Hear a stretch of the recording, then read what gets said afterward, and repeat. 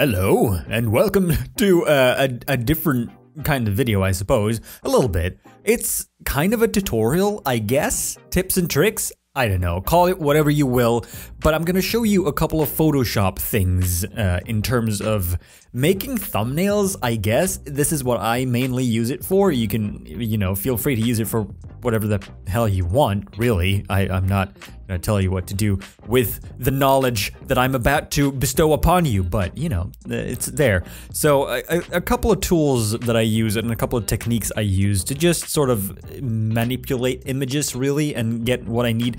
This is a, something that we learned in school. We had a, a, a crash course of two weeks in Photoshop like 20,000 years ago or whenever I went to school, I forget. But anyway, I'm going to show you a couple of things that I usually do, uh, mostly for thumbnails, but also just to sort of mask out and create uh, transparency in images that don't come with transparency otherwise, and also some cleanup and stuff. So uh, let's do that, shall we?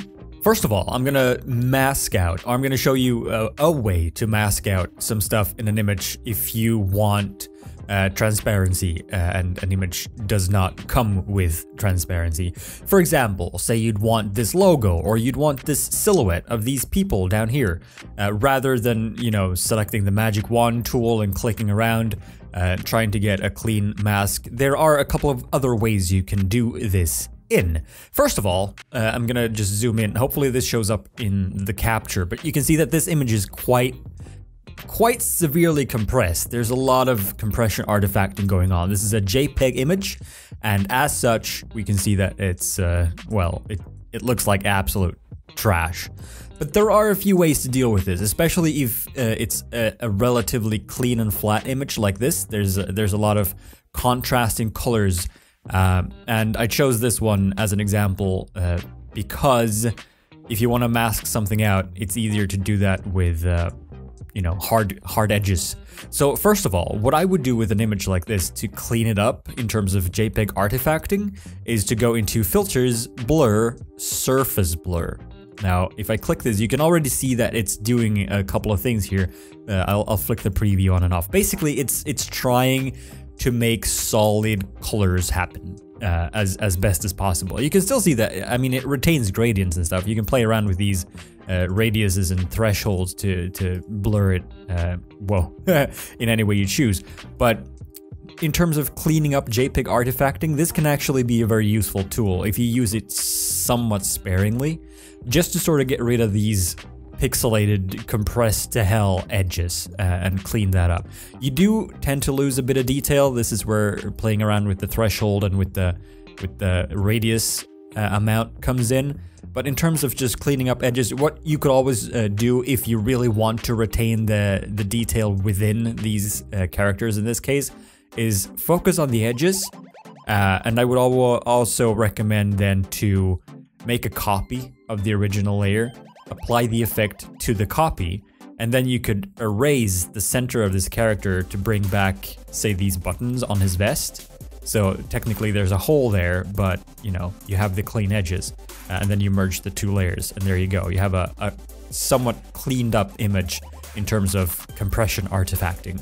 Um, and if I would then go on uh, to do a mask for this, if it's not, we'll get to other types of masking in a bit, but for this image in particular, if I wanted to mask out, say, the logo or the silhouette of these people, I'm gonna take a, a copy of the layer and I'm gonna hit Control Shift U to turn it black and white.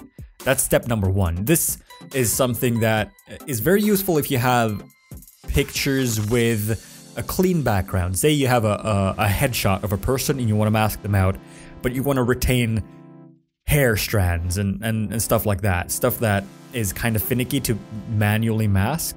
Uh, this is a good way of doing uh, that as well. But I'll take a copy, I'll make it black and white. There's a couple of edges here that aren't looking too hot, so I'm gonna do the blur, surface blur, again, and I'm gonna clean this mask image up uh, a bit more. So we'll we'll see some cleanup happening here. This is looking this is looking decent. So what I want to do now is I want to make this into uh, as black and white of a picture as possible. So I'm gonna apply a curves to this and I'm gonna just start pushing pushing the white. What I wanna retain here is the black. Um, so I'm gonna push the white points of the image up until everything disappears. Everything goes completely black and white. Somewhere around here. And I'm gonna bring the blacks in a little bit as well. So now we basically have a, a clean silhouette of these people. I'm gonna merge that down, Control E to merge top to bottom. Uh, and then I'm gonna have this image here. Again, I'm gonna hit Control M for the curves. Uh, this is, well, basically the same thing, but without adding it as a layer. I'm gonna hit this one, which is um, set white points.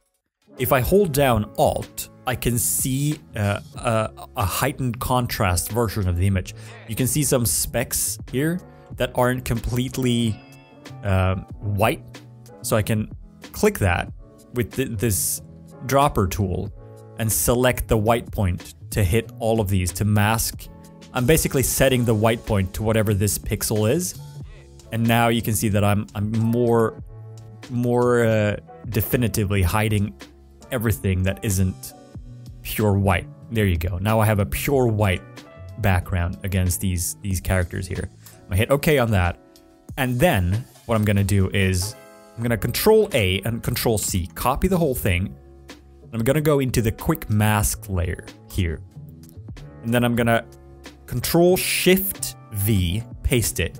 Control Shift V pastes in place. If I just hit Control V, uh, it would paste everything into the center of the image. If you if you have a if you if you're only selecting, let me show you an example of this real quick. If I'm uh, selecting only this bit, for example, and I hit copy, and then I go into the mask, and I paste it, it's gonna paste it there.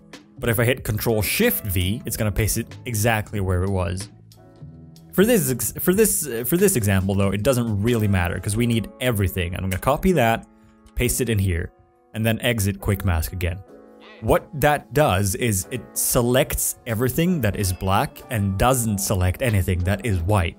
So if you have a black and white picture, even if you have a gradient, it's gonna select the gradient as well. You can see this on some of these characters. They have like not perfectly black pixels. Uh, they have like some some gradient to them.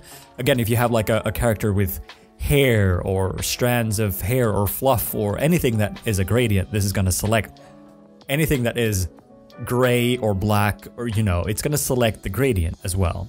Uh, you can see it here that stuff isn't 100% red. Um, that means that, you know, it has opacity. So I'm backing out again, and then I'm going to hide all the layers, make a new layer, shift F5 to fill it, and I'm going to fill it with black. I'll do this rather than copy and paste to get rid of any sort of potential edges and artifacting. But here we go.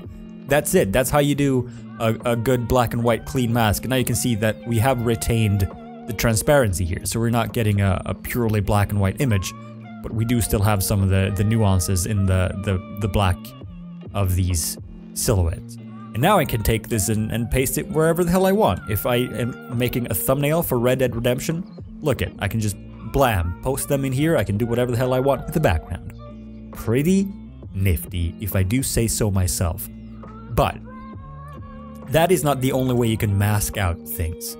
Uh, again, if I go back to the original image here, say I want to mask out these uh, letters, for example, I could do the same thing, but there is also the... Let's start with the magic wand tool for now. So magic wand again, I'm sure you've used it. If you if you click an area, it'll select all of the similar pixels. You can set the tolerance here, but 16 is a is a good base number. So I'm gonna just shift click all of these letters one by one, just select everything that I want to mask out. And then when I when I have a rough selection, I'm gonna hit select and mask. And this is a this is a very very very very useful tool in Photoshop. Uh, you can select up here in the view mode, you can view it against different backgrounds. You can view it against black, you can view it on any layers you have beneath it. You can view it on the onion skin, whatever you want to, you know, look at it against. Uh, you can see that there's some like weird redness still going on in these edges. You can smooth them out, you can feather them, you can contrast, add uh, contrast to the edges, and just change it up as you like. Shift the edges, make them a bit tighter. You can shift them in to get rid of some of this red. If you have a single colored image like this, you can also turn on decontaminate colors, which basically takes these colors and tries to apply it to the edges. So you can see that it makes the edges white in this case, which sometimes works and sometimes doesn't, depending on your image. Um, but let's let's see. Let's add some contrast into this, and uh, let's see. This is uh, this is looking okay. Let's turn off the smoothing again because I feel like we're getting a lot of these little holes in the letters. Uh, and I'm gonna turn up the smart radius a bit just to see what that what that looks like. This is a decent mask, I think. I'm gonna shrink the edges a little bit just to get rid of some of that red, and then I'm gonna hit OK. And it's gonna just make a mask for it. So I can either control click this mask to select everything if I want to copy that and for example bring it into this one. I can hit uh, control shift U to make it completely black and white, get rid of any red, and then I'm gonna hit control I to invert it. And here we have a, a, a logo, a clean logo. We can just put wherever the hell we want. Look at that. Isn't that a good thumbnail already? No, it isn't. It's kind of boring. But you know, it's there. You can do whatever the hell you want. Use it as you choose.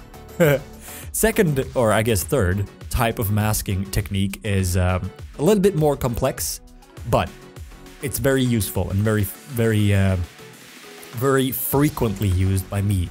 Anyway, so I have a, a, couple of screenshots here from the games that I wanted to use for maybe thumbnails uh, that I think could fit this one. Uh, well, this one wouldn't necessarily be uh, a good thumbnail because you can't really see a face all that well, and usually faces uh, is uh, preferable in terms of thumbnails because people tend to be attracted to faces and click them. If you want to be uh, slightly clickbaity about it. If you just want to make a cool image, that's a different story. but I have a couple of uh, this. I like this face. This is a good sad face. Uh, I think I'm gonna use this for something. Uh, don't mind the subtitle there. Uh, this, I don't know. I feel like we should use this for the example. Uh, this one is a bit blurry.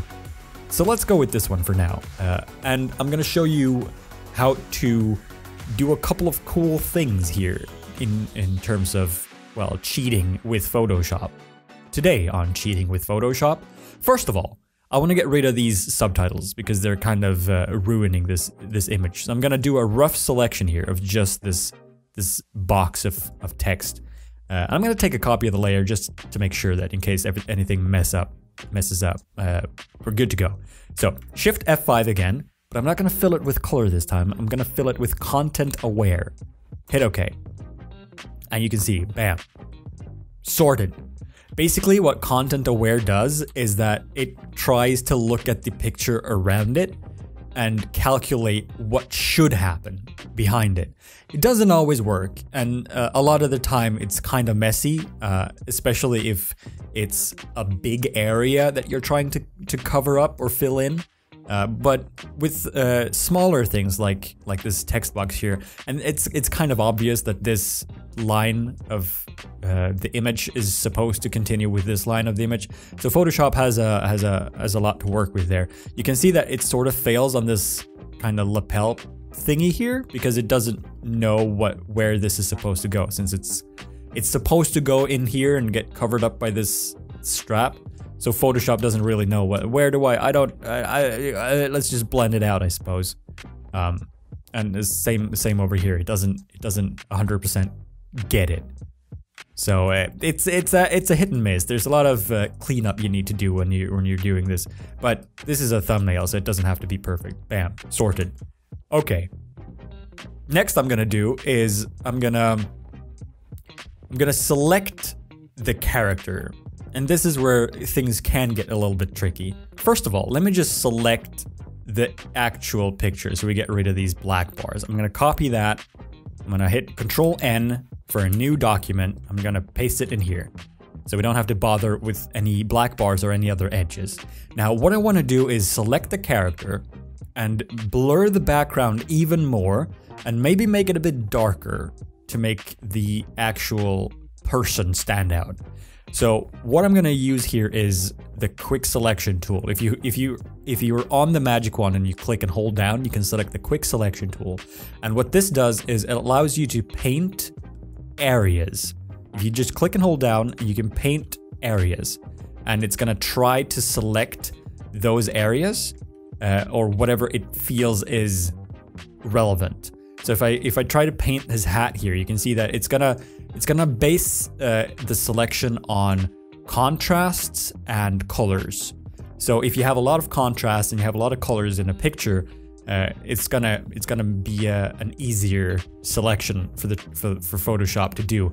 So I'm gonna have uh, hold down Shift and add to this. Uh, we're gonna have some issues with this image because down here you can see that his coat is very similar to these shadows. So we'll see when we get there if if Photoshop is gonna be able to select that. Uh, you can see here it selected some of the sky because it's very close uh, in terms of luminance to the to the skin of his cheek here. They're very similarly lit. So I'm gonna hold down Alt instead to subtract. I'm gonna try to paint that away and then Shift add it back in. Uh, that's a that's a better selection. We'll we'll clean all this up. Ooh, that's a bit much. We'll clean all this up in a minute. See, uh, here, right here, it's having some issues. So I'm gonna use the normal lasso tool and just manually select that bit, like that. And then go back to this one. Here again, it's selected a bit too much, so uh, might have to use, no, I think that's okay for now. Well, maybe. Again, we'll clean up all of this stuff in the select and mask tool in a second. All we need now is a semi-rough mask of this character. So I'll do this, I'll, I'll come down here. I think, correct me if I'm wrong, but I think the more slowly you draw your lines here, the more accurately Photoshop is gonna analyze the image. I don't know if that's a placebo effect, but it feels like if you're doing it more slowly, you get a more accurate result. I don't know if that's true. Maybe it's just because it feels better. Uh, but anyway, bam. So as you can see here, it selected all of these shadows as well because they're they're so similar in terms of luminance. So I'm just gonna not even bother. I'm just gonna use the normal lasso tool and alt deselect this bit right here, like that. Okay, so we have our character selected. I'm gonna go into the select and mask tool again. If you can't see this tool, you might just be on the wrong selection here. Uh, easy way to fix is just hit M and then it's there, M for mask. So we'll go up, hit select and mask, and we'll get a selection of our character. You can see that there's a, a couple bits and pieces lacking. For some reason, it didn't select this bit of his beard. So I'm just gonna paint that in. Now, you have a couple of tools here. You have a refine edge tool and you have a, a, brush tool. The brush tool is what you'd think it is. It's the brush. If you click and add, you'll paint more in. If you hold down Alt, you'll paint stuff out. That's basically all it is. It's a, it's a very basic brush tool. And you can see that up on this hat here, we did have some issues. So I'm just gonna use the brush tool, paint it in. I'm gonna paint this little bit out. Uh, there's something I want to paint out for sure. This crap over here I want to paint out. There's a couple of green bits here from the vegetation in the background that I'm not quite fond of. Paint those out. I think that's okay. Uh, here I'm to paint some stuff in. Okay, that's good. Perfect. Fit on screen, please. Now, we have a refine edge tool here. This is a, a, kind of a one of those hit and miss kind of tools. But if I'm gonna if I'm if I'm struggling with some of the edges like on his beard here, I can use this and try to paint a little bit. And I'm gonna I'm gonna go with a, a smaller brush actually because is a bit big. But what it's supposed to do is try to focus in on edges and find more definition in them it's gonna it's gonna do some extra thinking uh, and basically try real hard to get these specific edges right. You can see that it's real, really trying to like blend these these edges in with the background. I'm just gonna do a couple of clicks. Mm, maybe subtract a little bit. Maybe not do this bit right here. Uh, that, that, that could work. That looks better. It it looks a little bit messier, and it's supposed to be a little bit messy because it's it's his magical fancy beard hair. Um, but in combination, you know, with these tools, you can you can you can find some some combination of clicks that work. That's okay, I think. Okay, for now, we'll deal with that. Fit on screen, please. So what I'm gonna do is I'm gonna hit the smart radius. If you go too far, this is a, this is something you'd want to use sparingly. Uh, if you go too far with this, it's gonna go crazy and just try to select, well, way too much or way too little, uh, depending. You can see that without the smart radius, it's just, oh no, his eye. You probably don't want to select his eyes, do you? Well, no, Photoshop. Actually, I do. But it, it can be useful to just clear up some of the noise you get in edges. For some reason, it's it's not wanting to select this bit of his, his hat. So I'm gonna try to just paint that in a little bit. Uh, anyway, that's okay in terms of selection. And then I'm gonna smooth it out just slightly and feather it a little bit just to get some artifacting away from the edges here. I'm not quite fond of this bump here, so I'm gonna just paint that out. Perfect. Um, and I'm gonna paint some of this back in on his beard just to even that out a bit. And I'm gonna add some contrast to this. So these these are basically added on top of one another. If you if you feather it out a bunch and then add contrast, you're gonna add contrast to the feather. They come one after the other. So think about that uh, for a second. Okay, stop thinking about it though, because we're moving on. I'm gonna add some contrast in, and I'm gonna... I don't think I'm gonna shift the edges, and I'm not gonna decontaminate because I don't think I need to. But that's a decent selection. Hit OK. Now we have our character selection. I'm gonna copy and shift, Control Shift V paste in the same spot, so we have our dude selected. Now, to blur the background here, one could just go into the background layer, one could go to Gaussian blur and just blur the shit out of it. Um, but the problem we run into here is that we get this sort of halo effect, this sort of weird like edge blur because our character is still in the background layer. He's getting blurred as well. And that's creating this sort of blurry line outline. So undo that and then here's the sneaky part. Control click the layers, select our character again, hide him, uh, and now we have just the base layer. What I'm gonna do here is go to select, modify, expand. I'm gonna expand our selection by five. So now we're selecting slightly more than the character, um, just to sort of cover our bases here. I'm gonna hit, hit Shift F5 again to bring up the fill. And I'm gonna use content aware. Now, this is where you, you get to see the, the flaws in content aware, but it doesn't matter. Check it. Bam. Uh, bam. So, we've basically removed the character.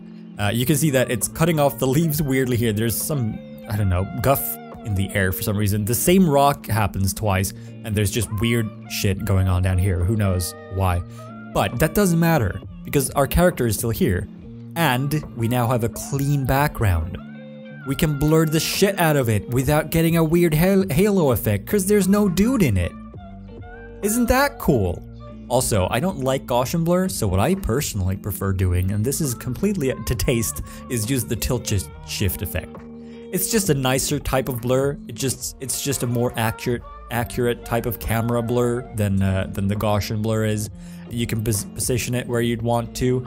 I'd like to keep some of these details. I don't know, personal taste again. You could look at that, it's so blurry. Um, just to make the character stand out a bit more.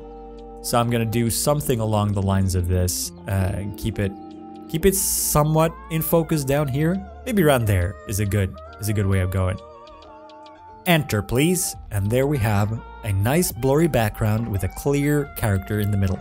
So this is where you start to do some trickery with colors and contrast. I usually tend to bring down the background slightly just to uh, to make the character stand out a little bit more as well. So I'm gonna do that. If I hold down Alt and I click between the layers, I'm making these curves apply to just the layer below, not everything. So you can see that he is still affected by the curves, but the background is not. So I can boost him a little bit, just to make him stand out a little bit more without making things look unnatural. Uh, I'm gonna keep some of the highlights in this picture, uh, or this background, just to sort of keep that nice natural contrast. And I'm gonna add everything back together. Control E, select Control E, uh, A, C, V, copy, paste, bam. Now we have a nice dude here with a nice, cool, blurry background for our thumbnail needs. Uh, we can position him however we like.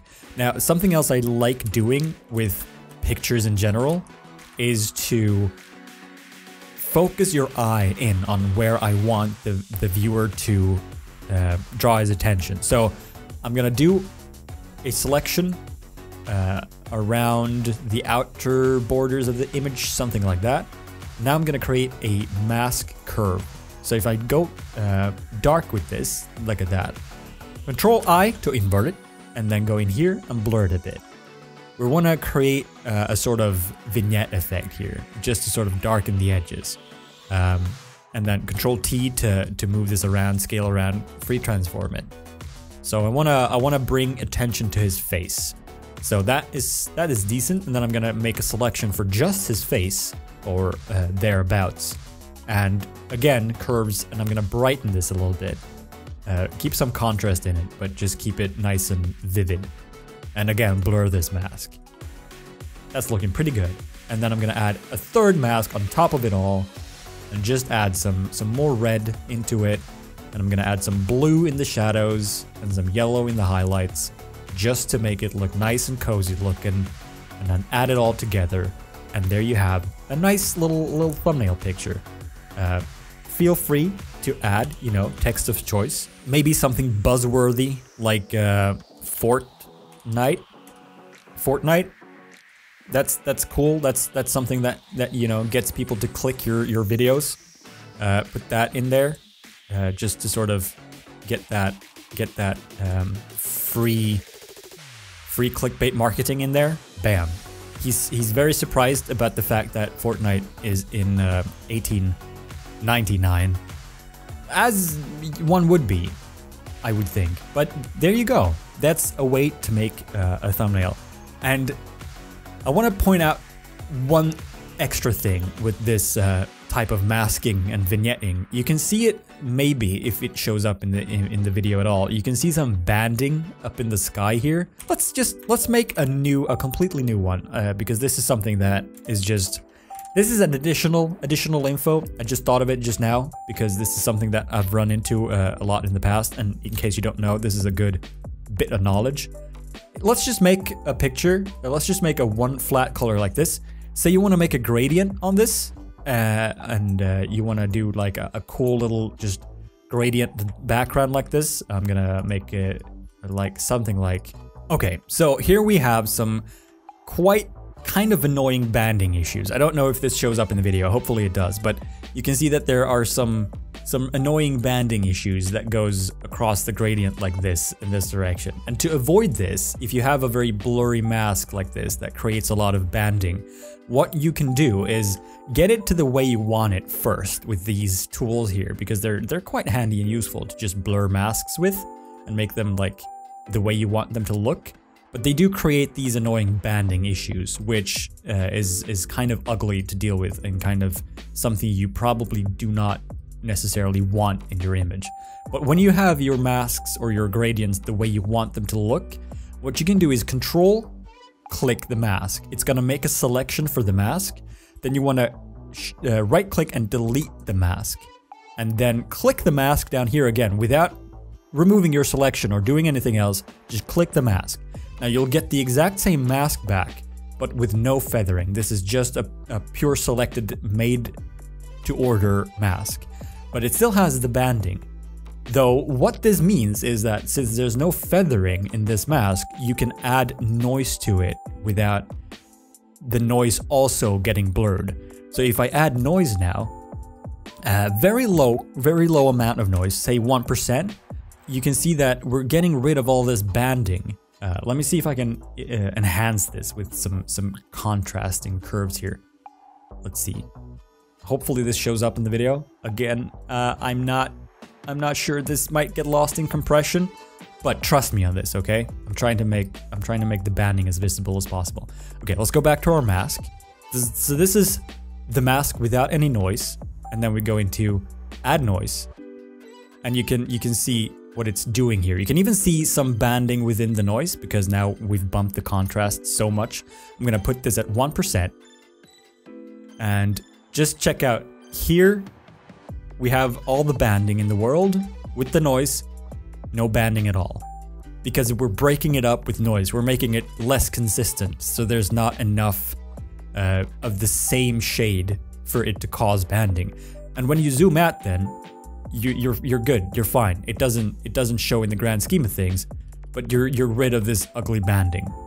So that could help with some of the artifacting, like you see here, uh, when you do these types of vignetted thumbnails, for example, or photographs in general.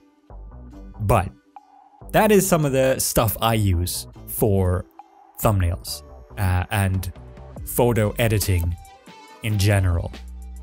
Selecting the character, removing the character from the background, blurring the background, vignetting, highlighting the character, adding some some nice colors to it to make it all pop a bit more and stand out a bit more. And that's a thumbnail. There you go. Use these techniques wisely, my friends, and go forth. And thumbnail. Or, you know, not thumbnail. It, you could you could also just not make thumbnails at all and just do cool pictures. You know, you could even do something cool with this since since we have since we have the dude masked out here in our old uh where where was it? In our old layer here. Since we have the dude separate, you could even like say we add these together and then we add these together and then you could take both of these layers into your your thumbnail composition here. Let's just select both of them and drag them in here, right? Now we have the character in the background separated in inside of our thumbnail master edit here. So if we position all this, still having both of them selected, you can treat them as one layer, but we have the option to then do something like real crazy, like putting putting the logo behind the character inside the same shot. What? What is happening? How is that even possible? Well, you know, with these techniques, anything is possible. Check that out. That's not so bad, is it? You could even lock the uh, opacity of this layer, hit Control U, and then colorize it and make it like make it like red, like the Dead Redemption. And then we'll add like a, an effect. Let's add some stroke to it. We'll add a white stroke. Check it, a white stroke uh, on the outside. Wow, what is this? Is that a thumbnail? I think it is. You know, I think it is. Anyway, I hope uh, some of these uh, some of these techniques have been useful to you. Uh, enjoy or or not, you know, free free of free of charge. And goodbye. Take care.